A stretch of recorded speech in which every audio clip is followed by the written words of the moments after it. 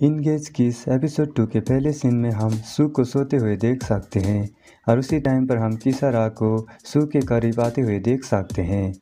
तो उसके बाद हमें इस एपिसोड का नाम पता चलता है, जिसका नाम है episode two, the island of desire. तो उसके बाद दूसरा दिन हो जाता है, और हम किसारा और सू को पिछले बार के फाइट के बारे में बातें करते हुए भी देख सकते हैं। और उसी टाइम पर हम किसारा सू का मनी मैनेजमेंट करता हुआ देख सकते हैं और उसी टाइम पर किसारा सू को पार्ट टाइम जॉब करने के लिए भी कहने लगती है। पर उस टाइम पर हम सू को बहुत खुश होते हुए देख सकते हैं क्योंकि उसको ये लग रहा था कि इस बार उसका बैंक अकाउंट पर पैसा डिपॉजिट होगा। पर बाद में किसारा ये कहती है कि तुम्हारा बैंक पर पैसा डिपॉजिट सिर्फ़ अगले महीने ही होगा। तो ये सब सुनने के बाद सू कुछ देर के लिए शौक हो जाता है और उसी टाइम पर किसारा ये कहती है कि हमें नेक्स्ट मंथ तक बीन स्प्राउट को खाना होगा। तो उसके बाद किसारा उस जगह से चली जाती है।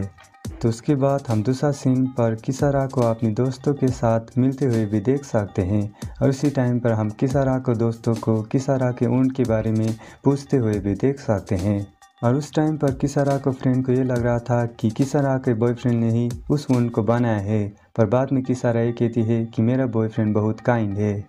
तो उस टाइम पर हाचिसुका भी किसारा से बातें करने के लिए आ जाता है और हम हाचिसुका को अपने बारे में सब लोग के साथ बताते हुए भी देख सकते हैं। तो उसी टाइम पर हाचिकुसा किसारा को अपनी बर्थडे पार्टी पर भी बुलाता है और कुछ देर के बाद किसारा और उसका दोस्त ट्रेन से उस जगह से चले जाते हैं।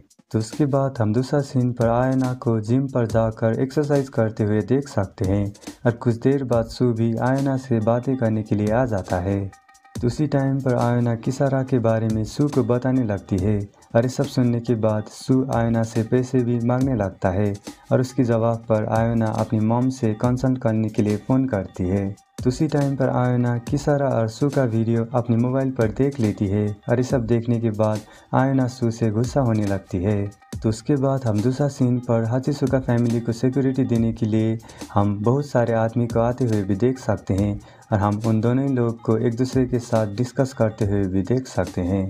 तो कुछ देर तक एक दूसरे से डिस्कस करने के बाद हाचिसू का फैमिली सिक्योरिटी लेने के लिए मान जाते हैं। तो मीटिंग खत्म होने के बाद हम आयना को, माँ को अपनी सिक्योरिटी के साथ एंटी डेमन ब्यूरो के बारे में बातें करते हुए भी देख सकते हैं।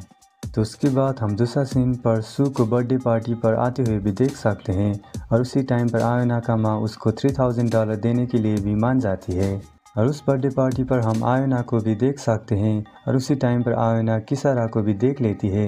और ये सब देखने के बाद आयना गुस्सा भी होने लगती है। तो उसके बाद हम दूसरा सीन पर सू अपने एक दोस्त से मिल जाता है और हम दोनों ही लोग को एक दूसरे के बारे में बातें करते हुए भी देख सकते हैं और उसी टाइम पर हम डेमन को उनकी बातें सुनते हुए भी देख सकते हैं। तो कुछ देर तक एक दूसरे के साथ बातें करने के बाद सू का दोस्त उस जगह से चला जाता है और हमें बाद में सू को अपने दोस्तों को एक और सीक्रेट मांगते हुए भी देख सकते हैं। तो उसके बाद हम दूसरा सीन पर मेयर को सबके सामने स्पीच देते हुए भी देख सकते हैं और हम किसारा, आयोना और सू को मेयर का स्पीच सुनते हुए भी देख सकते हैं। और उसी टाइम पर डेमन मेयर को अटैक करने के लिए आगे बढ़ता है। और उसी टाइम पर हम किसारा मेयर को बचाते हुए भी देख सकते हैं। तो उसके बाद हम किसारा को उस जगह से टेलीपोर्ट करके दूसरी जगह पर आते हुए भी देख सकते हैं। तो किसारा को सपोर्ट करने के लिए आयोना भी डेमन के साथ बैटल करने के लिए आ जाती है और हमें बाद में किसारा आयोना को बजाते हुए भी देख सकते हैं।